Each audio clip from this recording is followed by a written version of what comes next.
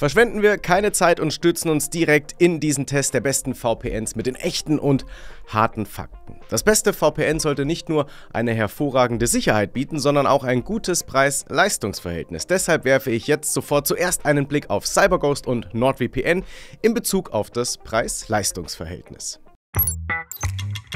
Die Preise von NordVPN liegen so ziemlich im Branchendurchschnitt, wahrscheinlich sogar auf der günstigeren Seite, wenn du einen Langzeitvertrag abschließt. Denn mit einem 2-Jahres-Tarif sparst du wirklich einen Haufen Geld. Und CyberGhost VPN ist eines der günstigsten VPNs auf dem Markt und hat neben dem Preis noch weitere Vorteile. Du kannst es auf bis zu sieben Geräten gleichzeitig nutzen, egal welchen Tarif du wählst. Außerdem gibt es eine 45-tägige Geld-Zurück-Garantie, die damit viel länger ist als die der meisten anderen Anbieter. Okay, wenn man also rein den Preis betrachtet, ist CyberGhost die günstigere Option, aber es gibt noch andere Faktoren, die darüber entscheiden, welcher Anbieter ein besseres Preis-Leistungs-Verhältnis hat. NordVPN bietet zum Beispiel einen fortschrittlicheren Schutz vor Malware und hat generell mehr Funktionen am Start, aber dazu später mehr. Nur ganz kurz, wenn du noch mehr Geld sparen willst, schau dir unsere exklusiven Links in der Videobeschreibung unten an, um die aktuellsten VPN-Deals zu erhalten. Jetzt, wo wir die Preise im Kopf haben, sollten wir uns mal die Sicherheitsfunktionen ansehen. Welcher Anbieter ist sicherer, CyberGhost VPN oder NordVPN? Tja, beide nehmen die Sicherheit auf jeden Fall sehr ernst und sind sicher in der Nutzung. Aber was macht sie vertrauenswürdig? Zunächst mal verwenden sie beide eine ähnliche Verschlüsselung gemäß dem goldenen Standard. CyberGhost arbeitet wie auch NordVPN mit reinen RAM-Servern, was bedeutet, dass die Daten bei jedem Neustart des Servers gelöscht werden und somit nicht wiederhergestellt werden können.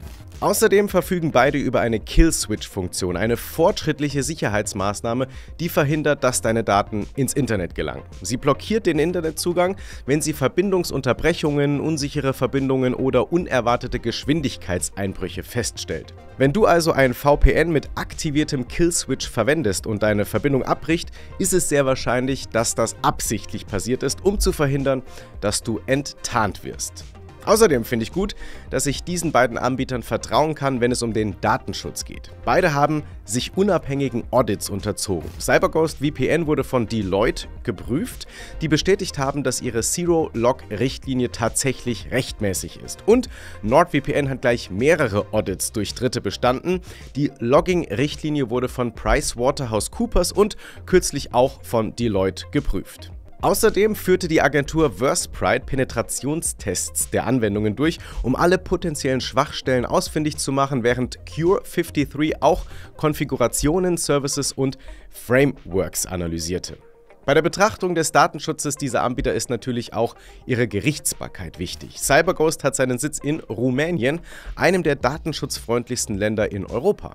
NordVPN hingegen untersteht der Rechtsprechung Panamas, das keine datenschutzbeschränkenden Gesetze hat. Also scheint bei beiden Anbietern alles bestens zu sein. Naja, nicht ganz. CyberGhost ist im Besitz von Cape Technologies, das früher unter dem Namen Crossrider bekannt war und Malware verbreitete. Ich kann zwar nicht sagen, dass sie immer noch Schabernack treiben, was das angeht, aber ihre dunkle Vergangenheit kann verständlicherweise ein paar Vertrauensprobleme verursachen. Vor diesem Hintergrund muss sich NordVPN zum Sieger in der Kategorie Datenschutz und Sicherheit küren. Okay, als nächstes kommen wir zu den Funktionen. Beide Anbieter haben hier ordentlich was zu bieten, aber fangen wir mit den Funktionen an, die sie gemeinsam haben. Zunächst mal haben NordVPN und CyberGhost spezielle Server im Repertoire, die für bestimmte Vorhaben bestens geeignet sind. CyberGhost hat zum Beispiel extra Server für Streaming, Gaming und Torrenting. Mit den Streaming-Servern konnte ich auf verschiedene sonst schwer zugängliche Medien-Streaming-Plattformen zugreifen. Gaming-Server haben die geringste Latenz und die Torrent-Server unterstützen P2P-Verbindungen. Es gibt darüber hinaus eine eigene Kategorie mit den hauseigenen No-Spy-Servern, die allerdings extra kosten und nicht im Basisabo enthalten sind. NordVPN macht es etwas anders und kategorisiert seine Spezialserver nicht in Entertainment-Typen. Der Double VPN-Server kombiniert zwei separate VPN-Serververbindungen für mehr Privatsphäre im Internet. Es gibt außerdem ein Onion-Over-VPN-Setup, das deine Verbindung erst durch einen VPN-Server und dann durch mehrere zufällig ausgewählte Knotenpunkte leitet, bevor das gewünschte Ziel überhaupt erreicht wird. Verschleierte Server verbergen dann noch die Tatsache, dass du überhaupt ein VPN benutzt. Denn bekanntlich schränken einige interne Netzwerke, Internet Service Provider und sogar ganze Länder ja die Nutzung von VPNs ein. Mit verschleierten Servern kannst du diese Beschränkungen umgehen. Also ja, NordVPN bietet etwas mehr Vielseitigkeit bei seinen Servern. CyberGhost hat dafür aber eine größere Anzahl von Servern und Serverstandorten im Angebot. Eine weitere Gemeinsamkeit ist, dass beide Dienste über eine eigene IP-Option verfügen, die du allerdings separat erwerben musst, um auf sie zuzugreifen. Mit dieser einzigartigen IP-Adresse ist es wahrscheinlicher, dass du nicht auf Sperrlisten landest, da du definitiv der Einzige bist, der sie einsehen kann. Das habe ich vor allem für meine Online-Banking-Aktivitäten als nützlich empfunden. Wenn du ein VPN benutzt, kann es zu Unterbrechungen kommen, falls die Bank deine Verbindung für verdächtig hält. Die Dedicated IP hilft mir in diesem Fall, das zu vermeiden und trotzdem geschützt zu sein. Mit CyberGhost kannst du deine dedizierte IP in 10 verschiedenen Ländern erhalten, während NordVPN 15 verschiedene Länder anbieten kann. Aber fairerweise muss man auch dazu sagen, dass CyberGhost weniger für diesen Service verlangt. Um das Surfen sicherer zu gestalten, können beide ihre eigenen Versionen von Webfiltern anbieten. Die Version von NordVPN heißt Threat Protection. Sie schützt mein Gerät vor schädlichen Websites, Softwares, Trackern und sogar Werbung. Es ist zwar kein vollwertiger Virenschutz, aber er kommt dem schon recht nah, da zum Beispiel auch meine heruntergeladenen Dateien scannt. CyberGhost hingegen nutzt die DNS-Filterung, um die Suchergebnisse auszusortieren. Die Funktion nennt sich Content Blocker, aber es gibt hier noch weitere Funktionen, um bösartige Websites und Tracker zu blockieren. Das mag sich alles erstmal toll anhören, aber leider war ich mit der Fähigkeit, Werbung tatsächlich zu blockieren, in diesem Fall nicht wirklich zufrieden. Okay, und wie sieht es mit exklusiven Funktionen aus? Haben diese Anbieter etwas Einzigartiges zu bieten? Naja, von CyberGhost lässt sich das nicht wirklich behaupten. Es gibt Smart Rules Optionen, mit denen ich CyberGhost automatisch anpassen kann. Dadurch können verschiedene Apps getriggert werden oder CyberGhost dazu bringen, sich mit einem bevorzugten Server zu verbinden, je nach deinen Bedürfnissen. Aber das ist nichts, was NordVPN nicht auch bieten kann. Auf der anderen Seite hat NordVPN einige weiterführende Exklusivitäten. Während CyberGhost Smart DNS anbietet, hat NordVPN seinen eigenen Ableger Smart Play, mit dem ich auf geografisch gesperrte Websites zugreifen kann, die kein VPN unterstützen, wie zum Beispiel bei Konsolen oder Smart TVs. Außerdem fügt NordVPN seinem Smart DNS eine Verschlüsselung hinzu, die die Nutzung sicher macht. Eine weitere Funktion, die ich sehr nützlich fand, ist das Dark Web Monitoring von NordVPN. Dabei handelt es sich um eine zusätzliche Sicherheitsmaßnahme, die das Dark Web ständig auf Datenlecks oder Verstöße in Bezug auf meine E-Mails überwacht. CyberGhost hat so etwas nicht.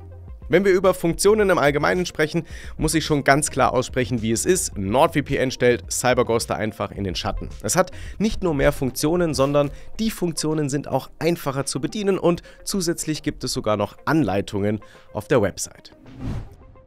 Alright, ein guter VPN-Test sollte ja auf jeden Fall auch einen Blick auf die Leistung werfen. Als nächstes wollen wir also die Geschwindigkeiten dieser beiden Anwärter auf das beste VPN vergleichen. Dazu habe ich eigene Geschwindigkeitstests zwischen CyberGhost und NordVPN an vier verschiedenen Orten rund um den Globus durchgeführt. Hier in Deutschland erwies sich NordVPN als etwas schneller. Wenn du beide Ergebnisse mit meinem Ausgangswert vergleichst, mag der Unterschied auf den ersten Blick recht deutlich erscheinen, aber während des Surfens spürt man den Unterschied gar nicht so eindeutig. Als ich mich mit Servern in Großbritannien verbunden hatte, waren die Geschwindigkeiten der beiden VPNs ungefähr gleich. Als ich mich dann mit weiter entfernten Serverstandorten verbunden hatte, sanken die Geschwindigkeiten nochmal, aber diese Ergebnisse sind immer noch ausreichend zum Surfen oder sogar zum Streamen. Die Ergebnisse von CyberGhost waren wirklich solide, aber NordVPN ist tendenziell sogar noch etwas schneller, vor allem wenn man weit entfernte Server nutzt.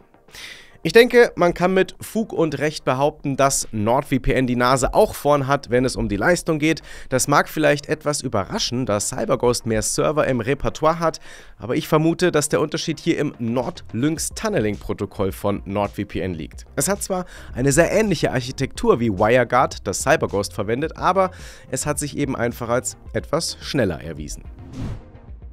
Also, NordVPN und CyberGhost gelten beide als großartige VPN-Optionen für das Streaming ausländischer Inhalte, so viel steht fest. CyberGhost hat mehr Server an mehr Standorten, während NordVPN die Smart Play-Funktion hat. Beide haben also ihre Vorteile und wenn es um Streaming geht, kann eine große Serverflotte hilfreich sein für den Fall, dass bestimmte IPs gesperrt werden. Und eine größere Anzahl von Ländern gibt dir logischerweise auch automatisch Zugang zu mehr geoblockierten Inhalten, oder? Zumindest Theoretisch sollte das so sein, aber bei mir im Test war das leider nicht wirklich der Fall. NordVPN hat es letztendlich sogar geschafft, mehr Beschränkungen zu umgehen. Ich will damit aber auch nicht sagen, dass ich mit CyberGhost schlechte Erfahrungen gemacht habe. Mit beiden Diensten konnte ich die exklusiven Inhalte in Großbritannien, Japan und vielen anderen ausländischen Standorten erreichen. Außerdem gab es bei beiden keine Probleme mit nervigen Pufferungen. Sehr schön. Insgesamt kann ich also beide Anbieter für das Streaming empfehlen. Wenn ich mich aber für einen entscheiden müsste, würde ich NordVPN wählen, weil ich summa summarum einfach auf mehr Bibliotheken zugreifen kann.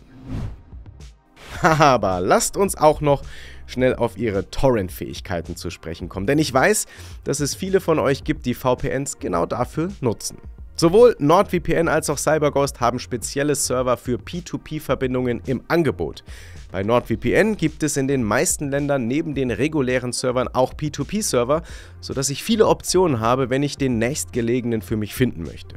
Ich kann Torrent-Verbindungen sogar auch auf Standard-Servern nutzen. Sobald der Torrent-Verkehr jedoch erkannt wird, werde ich sofort wieder mit einem P2P-kompatiblen Server verbunden. Genau wie NordVPN hat auch CyberGhost einen eigenen Tab für Torrent-Server, auf dem ich sie nach Entfernung zu meinem Standort filtern kann.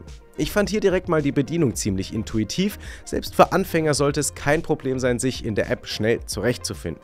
Allerdings ist mir auch aufgefallen, dass die Download-Geschwindigkeiten bei den Tests nie über 40 Mbits lagen. Sie scheinen also irgendeine Art von Drosselung zu verwenden, um die Bandbreitenkapazität ihres Servers zu schonen. Da ich beim Torrenting mit NordVPN keine Drosselungsmaßnahmen ausfindig machen konnte, ist es der Sieger auch in dieser Kategorie. Oh, und ganz kurz nur noch eine Sache, bevor ich diesen NordVPN vs. CyberGhost Test 2023 abschließen werde. Wenn du Inhalte wie diesen hier magst und dabei helfen willst, bis Ende des Jahres 5000 Abonnenten zu erreichen, dann abonniere gerne unseren Kanal und bleibe über alle News und Reviews auf dem Laufenden. Vielen Dank fürs Mitmachen. Alright, das war ja also mein Vergleich zwischen CyberGhost VPN und NordVPN.